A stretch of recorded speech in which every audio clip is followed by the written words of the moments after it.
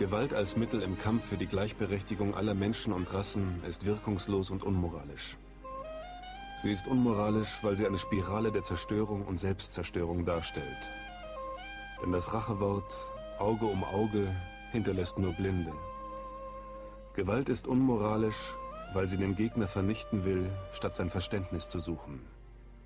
Gewalt ist unmoralisch, weil sie den Hass sät und nicht die Liebe.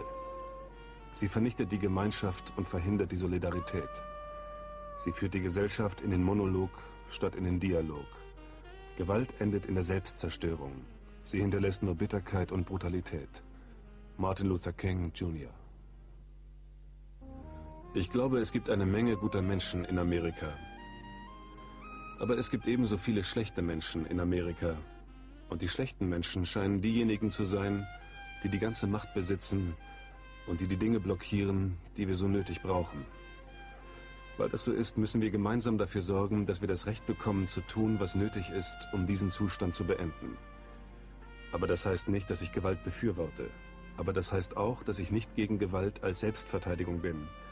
In diesem Falle nenne ich es nicht Gewalt. Im Falle der Selbstverteidigung nenne ich Gewalt Intelligenz. Malcolm X